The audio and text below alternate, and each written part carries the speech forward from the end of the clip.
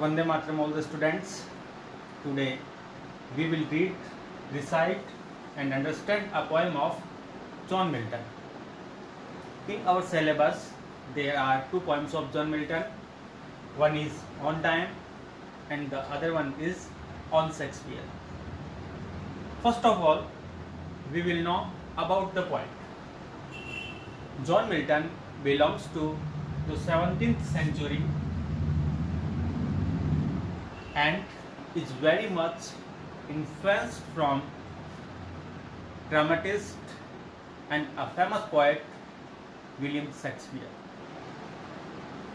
After completing his formal education from Cambridge at the age of 10, he started studying different languages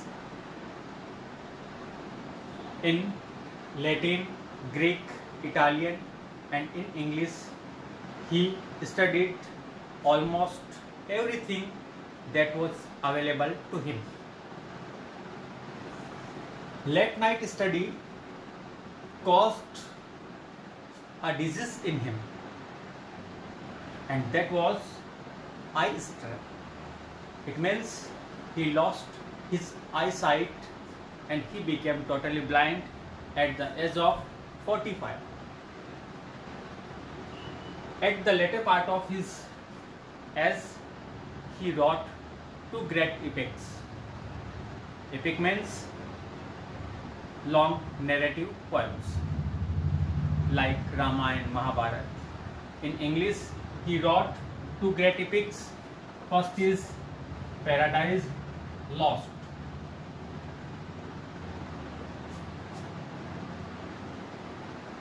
And the second is Paradise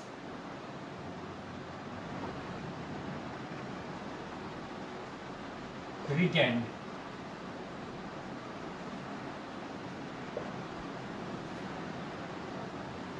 Let's now come to the poem On Time. In this poem, John Milton requests to bad time to go away quickly. The first word fly. Here fly means go away. The poet requests envious time. Envious in Hindi means ईर्ष्यालु कवि यहाँ पर ईर्ष्यालु समय से कहता है till thou run out thy race यानी go away चले जाओ। कहाँ तक चले जाओ, कब तक चले जाओ? जब तक कि तुम तुम अपनी रेस को कंप्लीट नहीं कर दो। दाई का मतलब होता है योर्स तुम्हारी। तो ईर्ष्यालु समय से कवि कहता है फ्लाई फ्लाई मतलब गोवे हे ईर्ष्यालु समय, तुम जल्दी से चले जाओ, जब तक कि तुम तुम्हारी रेस को पूरा नहीं कर लो। Call on the lazy leaden stepping hours ये ईर्ष्यालु समय से कहता है कि तुम अपील करो। कॉल ऑन का मतलब होता है अपील करना।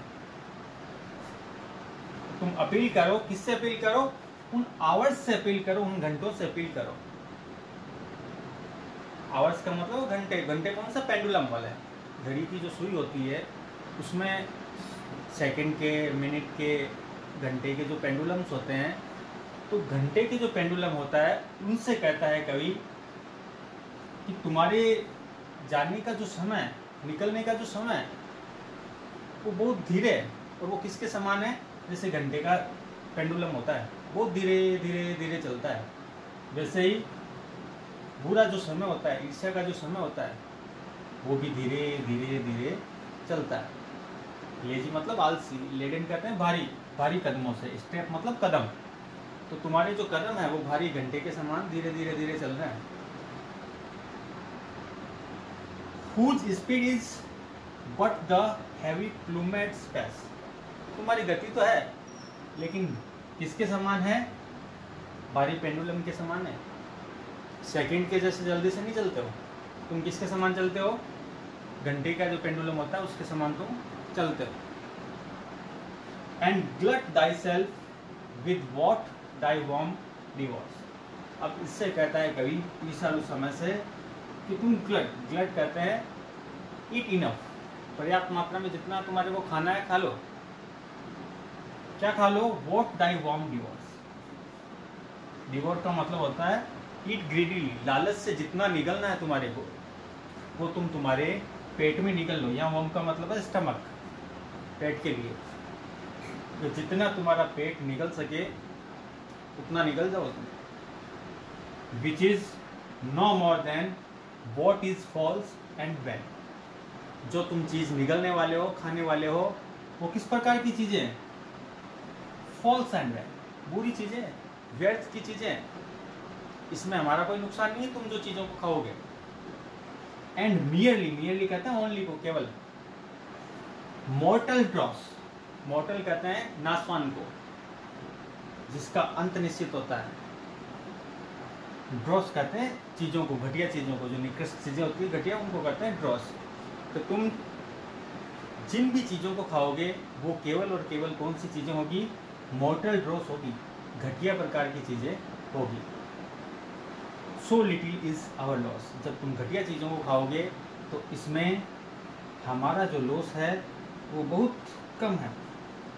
नगण्य के बराबर है, हमारा लॉस इसमें बहुत, हमारा लॉस नहीं है, घाटा हमारा कुछ नहीं इसमें।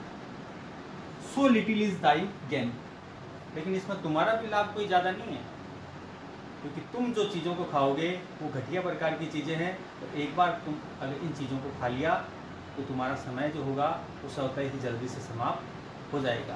तो इन, इस पैराग्राफ में कवि इंग्लिश टाइम से रिक्वेस्ट करता है, बुरे समय से रिक्वेस्ट करता है, बुरे समय का मतलब होता है, ये जैसे सेल्फिशनेस वाला समय है ग्रीड लालच वाला समय है फॉल्स सो झूठा दिखावा वाला जो समय है, इससे कवि कहता है हे, समय, बुरे समय, तुम जल्दी से यहाँ से चले जाओ, जिससे कि एक अच्छा समय हमारे पास आ सके।